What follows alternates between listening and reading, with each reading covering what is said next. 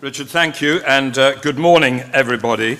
Uh, can I first of all just assure you uh, that the fact that uh, I don't have a tie on does not uh, suggest a, a, a statement of sympathy with the hedge fund community.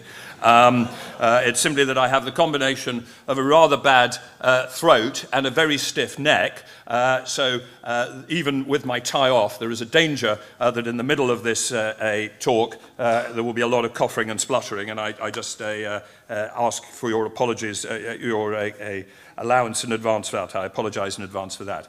So, the future of finance. Uh, which, the book is related, is focused on the future of finance, but it's quite interesting to think then about the recent past of finance.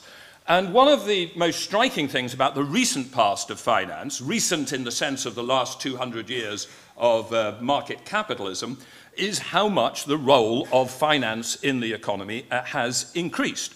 On a whole load of dimensions, from about uh, the mid last century onwards, but particularly from the 1970s and 80s onwards, the relative scale of finance within and relative to uh, the real economy increased. And you can see that both in increasing levels of leverage, uh, corporate debt to GDP, household debt to GDP, uh, but above all, financial debt to GDP, i.e., debt contracts which were internal to the financial industry. Those began to grow very dramatically after uh, the uh, 1970s, as you can see there. We also had a huge increase in the complexity of finance. From about the 1980s onwards, we were seeing the development of derivatives, interest rate derivatives, credit derivatives, and structured credits. And we had a huge increase in the scale of trading activity uh, within the economy, uh, so that the ratio of, for instance, oil trading uh, relative to a, uh, the amount of physical oil produced in the world went from a small fraction to 10 times. Uh, and as you can see there, uh, the ratio of tr FX trading values relative to world GDP uh, was transformed utterly. So a huge increase in the relative role of finance in all its aspects within the economy. And ahead of the crisis, there was a very strong confidently asserted conventional wisdom that all this increase in financial intensity had been a good thing, and that it had been a good thing in two respects. First of all, that it had increased the allocative efficiency of the economy by better allocating capital to productive uh, uses and has therefore spurred growth and secondly, that for a variety of reasons it had made the financial system more stable. And it is quite extraordinary in retrospect to look at the sort of things which were written by the IMF Global Financial Stability Review only as late as April 2006, explaining how this explosion of financial activity had made the, the whole economy uh, more stable. Now, we know post-crisis that that isn't true. First of all, on the allocative efficiency point, actually there is no real evidence that this massive growth in the scale of the financial system from the 1970s onwards actually spurred allocative efficiency or growth. If you actually look at the long sweep of economic history, it's a fact that the period of what is called financial repression, that's the phrase that uh, uh, Carmen Reinhart and Ken Rogoff use in their recent book, the period of financial repression from the mid-1930s through to the 70s Actually, after the Second World War, that was a period of pretty rapid growth. The economies managed to develop, both in the rich developed world and in emerging economies like Japan and Korea, pretty well without this huge intensity of financial activity. So the growth relationship is not necessarily there. That doesn't necessarily mean that there aren't values of particular forms of increased financial deepening or liberalization, but it does mean that we can't buy off on a sort of generalized relationship between financial deepening and liberalization and economic growth as being clearly beneficial at a top level. As for the stability argument, well, I think that argument pretty much turned to dust in 2007, 2008, when it was pretty clear that we had a huge economic crisis whose origins lay not in overpowerful trade unions or uh, too much government debt or irresponsible monetary policy, but within the financial system itself. And in the face of that crisis, there are some things which we knew and we recognized immediately are obviously wrong uh, with the financial system that developed. And we can enumerate them. They're things like badly designed uh, incentives that created bonuses for people to do risky things and then walk away from the consequences. Overuse of credit rating agencies, uh, conflicts of interest within credit rating agencies. The development of over-complex and misunderstood products, CDOs, CDO squareds, which had deeply embedded options, uh, which the uh, uh, investors didn't understand, and often the people who were selling them didn't understand it either. Over-reliance on mathematical models, which placed too much face on our ability to model future assumptions by looking at uh, the recent past. One can enumerate a whole series of specific things that went wrong, and it is very important that the regulatory agenda addresses those specific things. But the key thing that I want to say is that if we only focus on those specific things that went wrong and don't focus on the fundamentals, uh, we will not do enough to reduce the probability and severity of a repeat performance. Essentially, what I'm saying is if we define the problem as being greedy bankers encouraged by badly designed incentives, selling CDO squareds, if you define that as the problem, we will not really go to the essence of what went wrong and what we need to do about it. To work out what went wrong, we also need to go back to what does a financial system do within the real economy? Why is that valuable? And why does it tend to create some risks which we then need to manage? I think it's useful to think about the financial system functions under a fourfold categorization. Payment services, insurance services, which can be wholesale or retail, uh, which can be life or, or general, the creation of markets, markets in foreign exchange and commodities, and financial intermediation, financial intermediation between providers of funds and users of funds. Now, I'm going to talk entirely about function 3 and function 4. And I'm going to do that because that is where the problems arose in this crisis and have arisen in most crises. Payment services are very important, but on the whole, we manage them pretty well and they don't end up forming crises. There have not been many major systemic crises, in fact, I'm not sure there have been any, related to insurance services. Individual insurance companies go wrong, but they don't tend to create systemic crises. The fundamental problems lie within four and to a degree in three. Within four, what do we mean by intermediation? What we have is a process that links providers of funds with users of funds. Part of that intermediation, though this bit you could almost not call intermediation at all, is the facilitation of matched direct investments. What I mean is that by a matched investment is where the saver sees a contract which has the same risk and return characteristics as the user sees. So if I buy a bond from a corporate, that bond has the same characteristics to me as it has to the corporate who issued it to me. And part of what the financial system does through market making, through research and distribution, is facilitate those matched relationships. But actually, the really important things that it does, and the thing that introduces risk into the system, is that it intermediates unmatched asset and liability contracts. It does a set of things that enables savers to hold a different combination of risk, return, and maturity than the borrowers, the users of funds, face. And it does that fundamentally through four functions.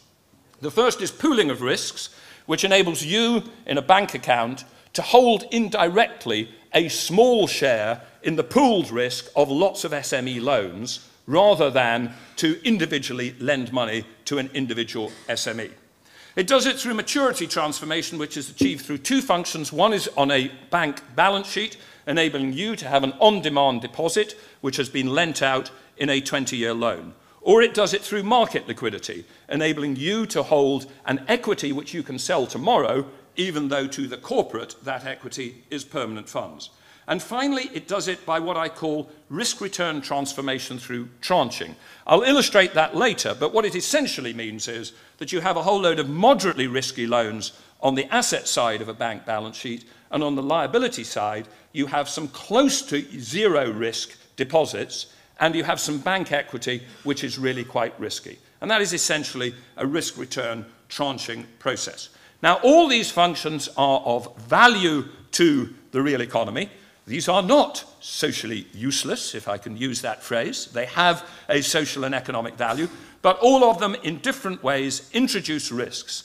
And to me, the essence of what we are doing in regulating and managing the financial system is understanding that there is value here, but there are also risks that need to be managed.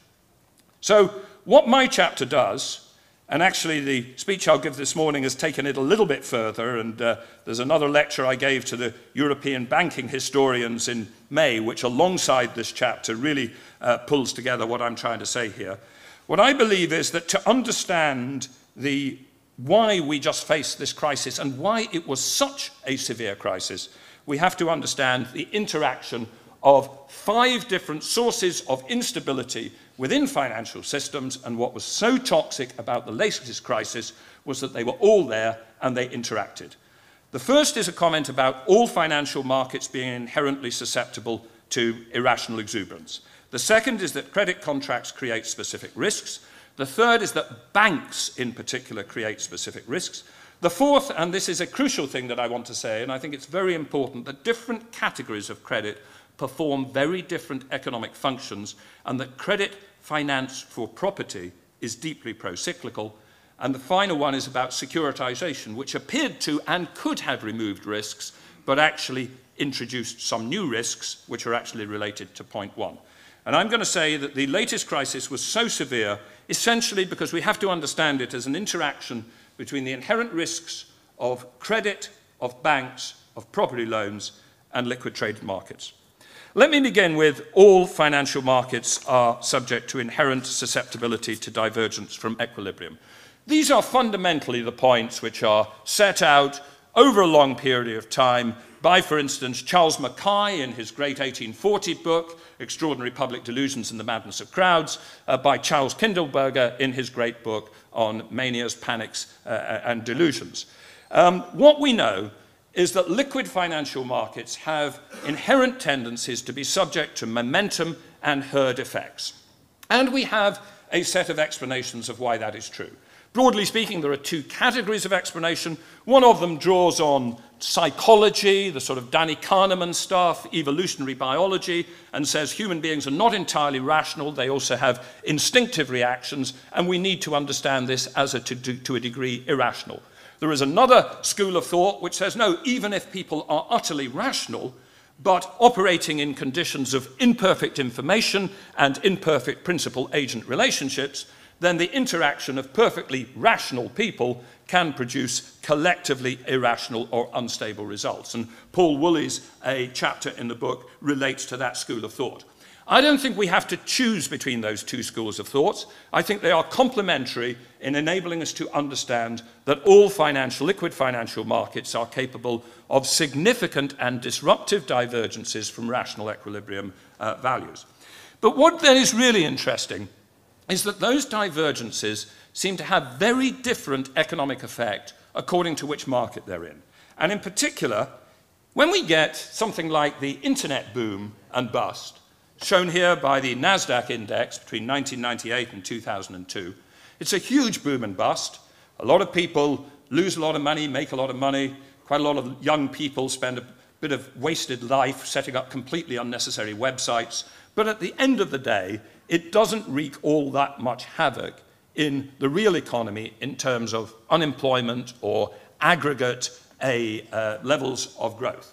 But when we get upsets in the credit markets, in markets for debt, for credit, shown here by a period of irrational exuberance in corporate bond spreads going down to that very low point of 2005 through to 2007 and then soaring back up again, that is when we get major disruption to uh, the real economy.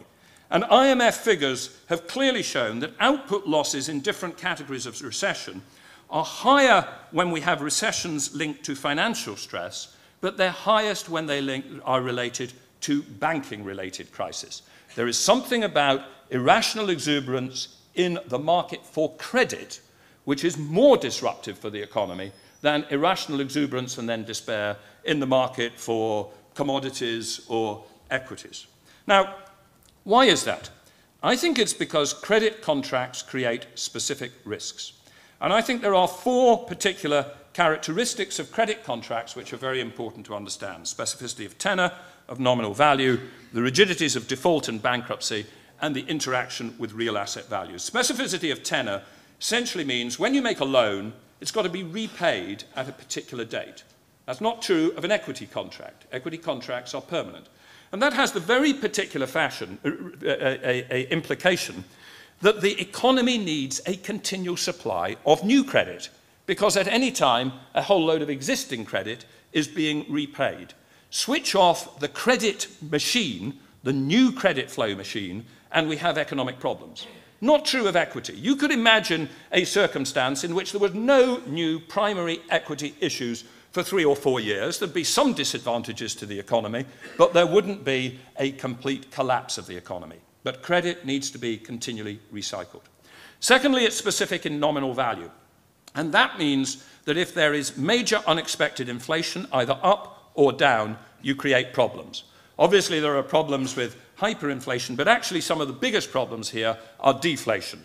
When you have nominal value contracts faced with deflation, you have unexpected increases in the real value of those contracts, and those can, as Irving Fisher explained in his great article on debt deflation, play havoc with the real economy. Thirdly, rigidities of default and bankruptcy. Ben Bernanke, in his essays on the Great Depression, in one of them, he makes the point that in a world of, in the Arrow-Debreu world of uh, perfectly state contingent contracts and complete markets, we would never see default and bankruptcy. Default and bankruptcy is a contradiction of smoothly operating markets, because in smoothly operating markets, as a firm approached the conditions which produced bankruptcy, we would have smoothly operating translation of debt contracts uh, through to credit, credit contracts. We don't see that. What we see when credit contracts go down is huge, irreversible, one-off and extremely disruptive processes, bankruptcies and fire sales, which drive companies into liquidation and which produce self-reinforcing falls in asset values. Those are specific to credit contracts. Finally, interaction with real asset values, the way in which credit and asset values work in a self-reinforcing cycle. I'll come back to that uh, in a minute. So credit contracts introduce instability. But it's not just credit contracts which introduce instability. It's not just credit which is different. Bank credit is even more specific.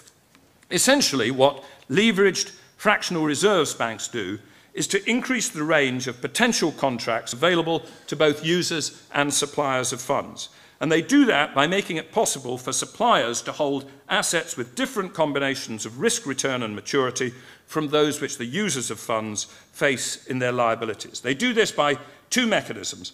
First of all, they maturity transform, enabling you to hold liquid deposits against medium to long-term maturity loans, and they tranche by risk and return, having on their asset side a whole load of moderately risky loans but then on their liability side, the ability for people to choose between close to zero risk deposits and the spectrum through to high risk equity. Now, those transformation functions appear to deliver significant economic benefits, at least at some stages of economic development. And indeed, economic historians of 19th century Britain have often argued that Britain's more developed banking system was one of the factors driving superior economic performance. And the reason why it might do that is that these maturity, these transformation functions facilitate the mobilization of savings, which would be, have been more difficult if savers had had to be linked to users of funds through untransformed contracts, in which, as it were, there'd have to be a link between the risk, return, and maturity of what the saver wants and what the borrower, the entrepreneur, uh, the business builder wants to issue. And that essentially is what uh, Walter Bagehot was arguing in Lombard Street when he said the points on this chart, that more cash exists out of banks in France and Germany and in all the non-banking countries than in our uh, countries, but the cash is not attainable. This is borrowable money. Essentially, what Bagehot is arguing is that banks, through these transformation functions, help the mobilization of savings. And I think it almost certainly is true that that was a very important part at that stage of economic development, and that there are countries like India today which would undoubtedly get a benefit from financial deepening, from having bank assets and liabilities higher as percentage of GDP than they currently are. I think the interesting question is to whether the benefits of this switch off at a certain stage and whether we are beyond the benefits of financial uh, deepening. Because it's quite clear that these benefits of leveraged fractional reserve banks bring with them very significant risks. Banks facilitate greater leverage in the real economy and they are leveraged themselves, increasing the dangers that arise from the specific characteristics of credit rather than equity contracts. And I should have said earlier that the implication of what I said earlier on credit contracts is that the more credit contracts there are within the economy, the more fragile it is, the more vulnerable it is to shocks because it has more of those rigid contracts. Obviously, also, they introduce maturity transformation risks and related confidence and contagion risks, rooted in the very simple fact that banks create a set of contractual liabilities which legally have a right to simultaneous execution, but which banks could never simultaneously honour if everybody wanted them honoured at the same time.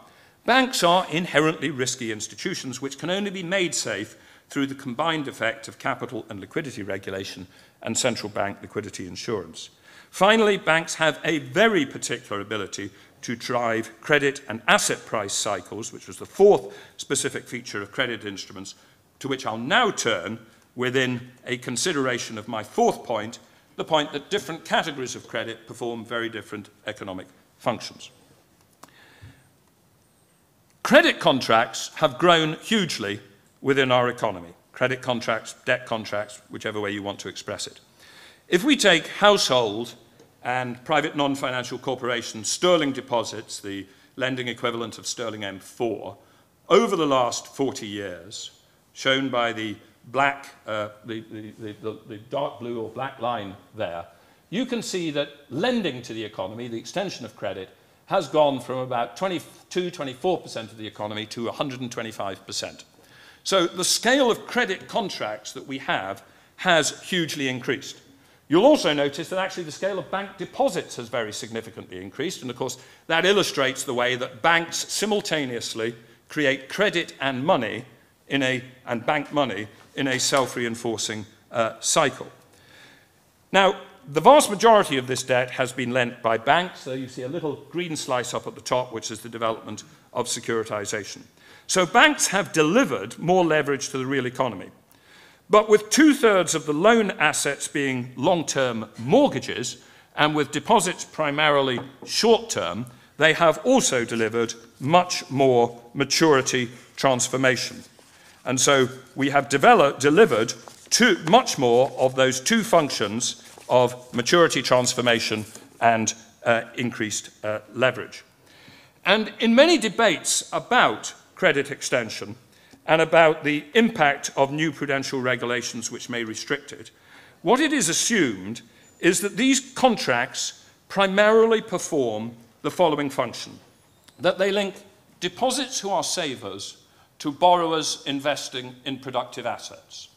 And you will find in most of the discussions about how high should capital requirements be at the moment, the implicit model on the right-hand side here, which is a marginal efficiency of capital uh, type model, in which there exists within society a whole load of potential investment contracts, uh, uh, projects, ranked by the rate of return, and according to the price of credit, according to how easy it is to get credit, uh, then we will have a different level of investing.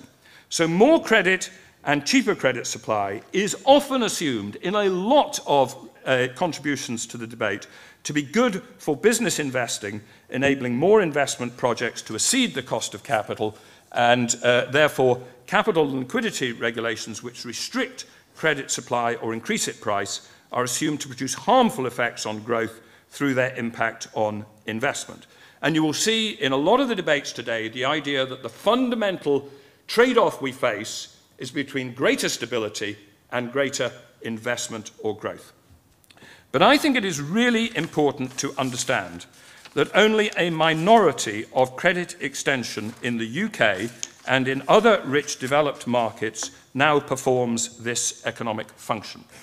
Whereas in 1964, a mental model in which UK banks took household deposits and lent them on to business captured much of the reality Over the last 40 years, that has fundamentally changed.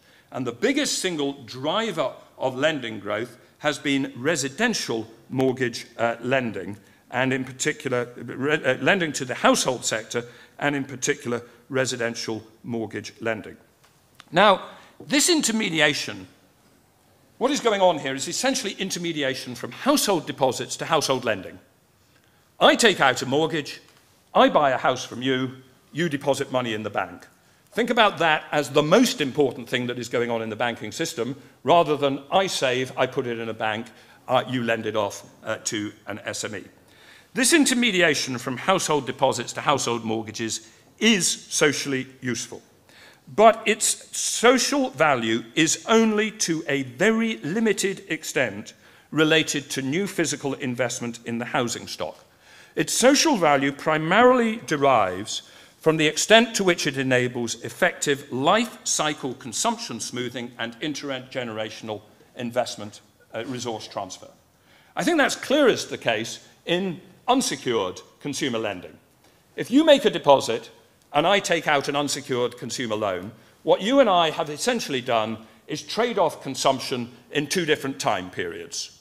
I've decided that I like my consumption now, and I'm willing to have a little less consumption throughout my life cycle in order to have it early. You've decided you want your consumption later, and you're willing to be rewarded with a bit of interest to get there.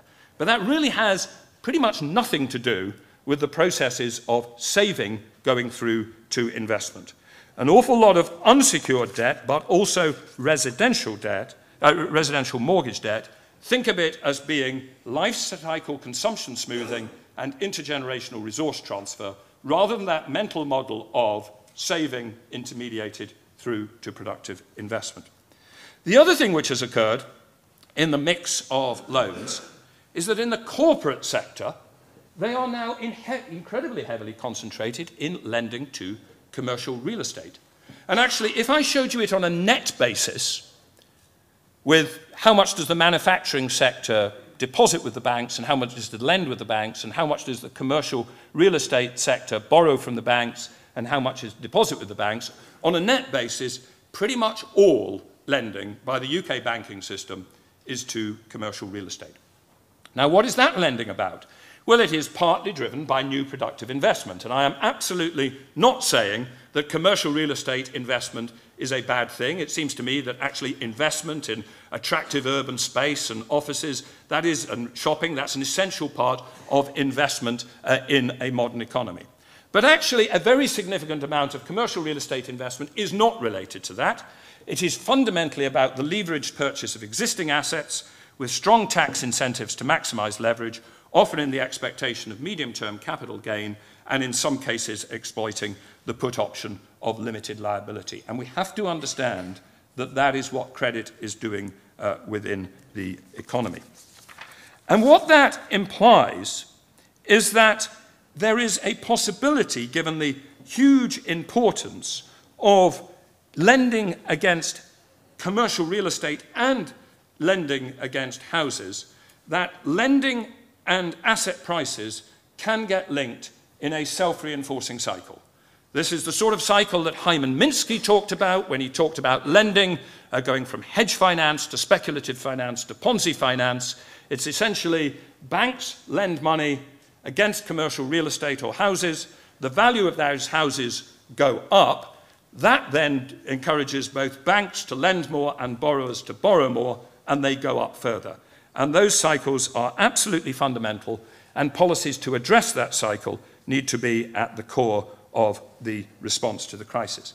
And to pull it all together, what I'm essentially saying is that we have to understand that there are very different drivers and there are different economic functions of different categories of debt. Some of them, such as residential mortgages or life cycles consumption smoothing, uh, have uh, residential mortgages or unsecured personal have very little to do with the finance of productive investment. I've, I've realized that something's gone wrong with this chart, and you're missing the blobs, which should be against life cycle consumption smoothing for, in particular, unsecured personal lending and residential mortgages, and you're missing the blobs against uh, private incentives to borrow against expectations of asset appreciation that should be against residential mortgages and commercial real estate. But hopefully you get the idea. The fundamental mental model we have that all lending is savers put money in a bank, banks lend it to productive investment, that is only a small fraction of the functions which credit is performing within the real economy. Fifth conclusion is about securitization. Now, securitization, uh, what is it? Um, first of all, it's quite uh, important to realize securitization in the sense of credit securities, um, simple credit securities, uh, uh government bonds or single name corporate bonds, those, those have existed for almost as long as bank loans, and they continue to play a major role in the credit extension uh, system. But what we call securitization is really the development from the 1970s on of new methods of extending the role of credit securities to new sets of issuers and buyers. And fundamentally, what securitization did was it applied two of the transformation functions that I referred to earlier. It pooled lots of small risks and turn them into a credit security so that you could buy a mortgage-backed security of lots of individual mortgages rather than just one bond of one issuer, IBM, and it tranched them. So it took a mix of credit risks on the issuer side and said, okay, which credit risk does the borrower want? Do they want a AAA slice or a AA or an equity slice? I mean, what's interesting there is that securitization actually, in a sense, performs the same risk transferring function performed by banks, but without the overt balance sheet based maturity transformation. And by the early 21st century, securitized credit had reached very significant proportions, as you can see here, of US credit extension in home mortgages and consumer credit and commercial mortgages. And in the UK, it had reached about uh, 20 to 25% of our mortgage market. And it seemed to deliver a set of benefits, or this is what people said about it. First of all, they said we'll have better management of bank risks because banks will be able to originate and uh, distribute uh, credit, so they won't have to hold undiversified portfolios of the risk which happens to be generated by their particular client base in their particular region. They'll be able to uh, diversify risk. And by the way, it was said that will create a more stable system. It was also said that this will complete markets. Investors will be able to pick precisely that mix of risk, return, and liquidity which matches their investor preference. And it was said that's good because it facilitates credit extension. Now, that's an interesting argument because, of course, whether credit extension is a good thing or not depends upon whether the level of credit in the economy uh, is optimal and whether everybody taking on those credit uh, contracts is making a sensible uh, decision. But those were the arguments which were made. And at a more fundamental level, you could argue that there were fundamental, apparent theoretical ar arguments in favor of securitisation. The argue was, argument was that the assets would be held by end investors who would be non-leveraged or lightly leveraged investors rather than highly leveraged bank intermediaries. And that the maturity transformation would be achieved entirely through the marketability of the, uh, the instruments it would not take the form of that dangerous maturity transformation sitting on bank balance sheet. So those were the two arguments, the two theoretical arguments why securitization would be a more stable system. Well, actually, both of those arguments turned out to be completely undermined by the actual practice of it. When the music stopped, it turned out that a large share of credit securities had not been distributed through to end investors, but they were sitting on bank trading books where I am afraid we, the regulators, had provided a massive incentive for them to sit there by setting wholly inadequate trading book capital requirements against credit securities held in trading books. And it also turned out that though we told a story that by getting rid of the bank maturity transformation we had a safer system, that wasn't true either because shadow bank maturity transformation through SIVs and conduits uh, was equally risky and prone to contagion. So that was uh, specific things which were wrong with the system and which actually we can put right. But my belief is that there was something more problematic about securitization. And the problem with securitization and credit derivatives is it took more credit instruments into the arena of liquid financial markets and therefore subject to the self-referential processes of risk assessment and of pricing which exist in liquid financial markets. Now, of course, in the equity market, Keynes famously described the uh, process in the equity markets of the setting of prices as being like a pretty girl competition uh, in which everybody was trying to work out whom everybody else thought uh, the prettiest girl was, um, so that we devote our intelligence to anticipating in advance what average intelligence expectations believe average expectations are. And I think there was a major problem that the credit securities market extended that type of thinking to credit securities. At the time, though, it was believed, hello, it was believed that that process of self-referential pricing was a thoroughly good thing. The IMF Global Financial Stability Review in April 2006 said that the good thing about credit derivatives was that they enhanced the transparency of the market's collective view of credit risks and thus provide valuable information about broad credit conditions and increasingly set the marginal price of credit. But the point about setting the marginal price of credit on the basis of the market's collective view of credit risk, rather than on your own bank analysis of credit risk, is that that's only valuable if you believe that the market's collective view of credit risk is collectively rational. If instead you note that what the market believed was the credit risk of major banks, measured here by financial firms' CDS on the bottom line, which goes down and then shoots up, a line which fell relentlessly from 2002 till spring 2007, so that what the market's collective view of credit risk was telling us was that the banking industry had never been safer than in about May 2007, and then shot off in the other direction. If that is what the market's collective view of credit risk is telling you, then when you start using the market's collective view of credit risk as a bank to say, I no longer need to do credit analysis because I can simply look at the CDS spread and make, take my reference from there, then you have made the system more unstable, not uh, uh, more stable. And so I believe that credit and asset risk prices, that cycle, and Richard's been flashing at me to wrap up in one minute, and I will be two more minutes, Richard. That cycle of credit and asset uh, prices, which I referred to earlier, I think the fundamental problem we had in this crisis is that that cycle, which has always been there, in banking and in its relationship with asset prices, that the interface between that and the liquid traded markets of credit securities made it worse. And this cycle here explains how uh, it made it worse. So the essence of what I am saying about why this system became so risky was that there are fundamental problems in maturity transforming banks.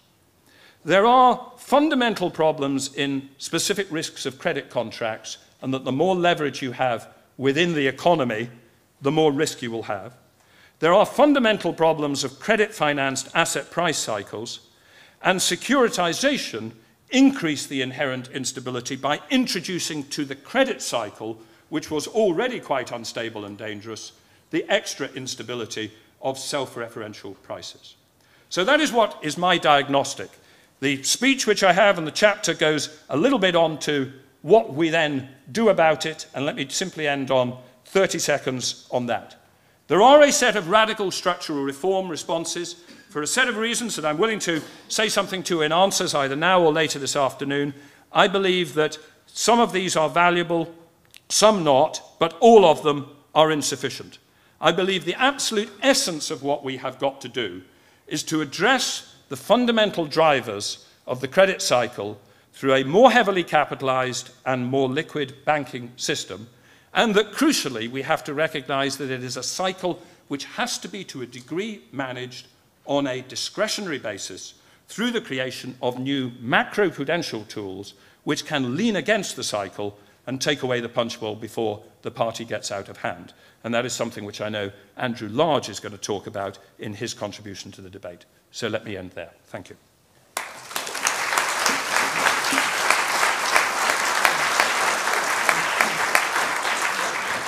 take this. Yeah.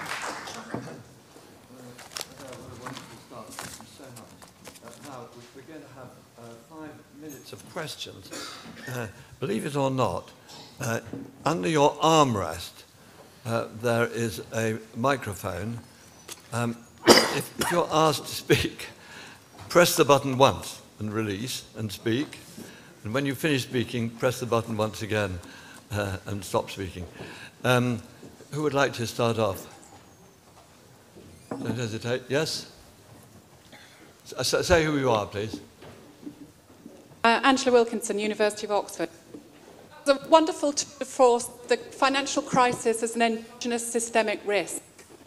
And my, we're here talking about the future of financing, so I would like to know about how the finance system is going to think about its causality of exogenous systemic risks or the exogenous systemic risk already exists. So beyond the concept of how do we better regulate, form and restructure the financial system and the role of banks into thinking about how this crisis has created ripple effects in the real economy and pensions, how investments are um, creating ecological debt, how are those exogenous systemic risks going to be incorporated in the future of finance? Thank you.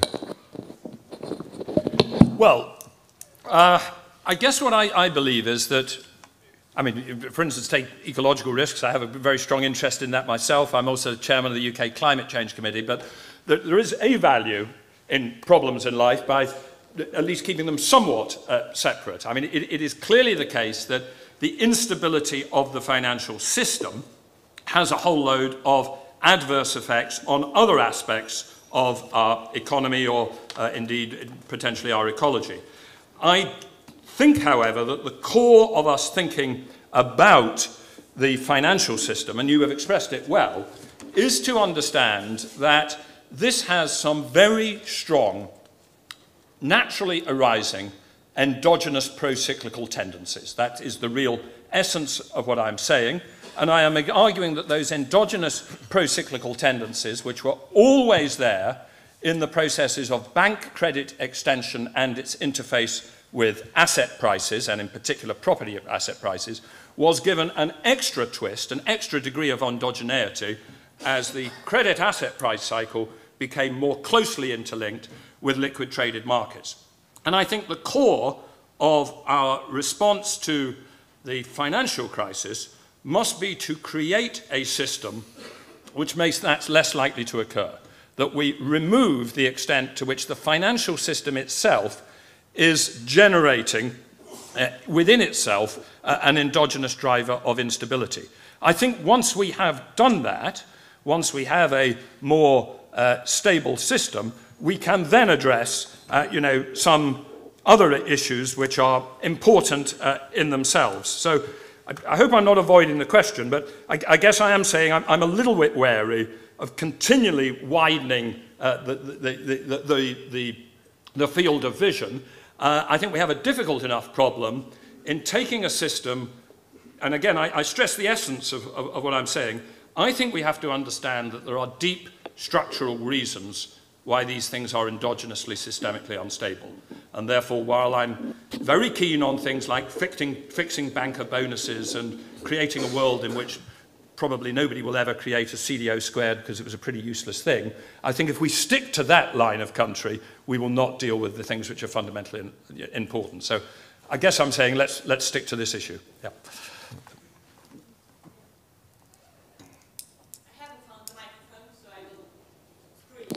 No, you seem to be talking, actually. Yeah, okay. okay. Yeah, Great. Okay. Barbara from uh, University College London.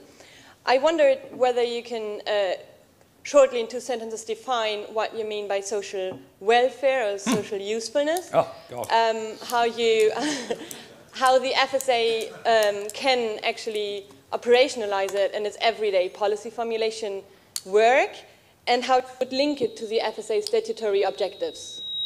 With great difficulty. Um, well, Andy is going to talk a bit later, Andy Haldane, about the issue of how we measure the value added of the financial system. I, I can't give a full answer to that. I think it's very important. But clearly, there is, there is a value um, in the financial system achieving you know, growth. right? Allocative financial uh, uh, efficiency and growth. Of course, if you read Richard Layard's stuff on happiness, it raises some questions about how important that is once you get beyond a certain level of GDP per capita. But actually, in the developed world, developing world, it's still very important. So, for instance, a, does India need a more deeply developed banking system uh, to more, uh, more effectively drive allocative efficiency and investment in order to drive growth? And will that be good for happiness? Yes, at that stage of development, absolutely clearly. So there is a relationship to does it drive growth. I think the crucial thing to understand about the when I used the phrase socially useless last year, which got a certain notoriety, I think there are two, at least two, two things that I had in mind.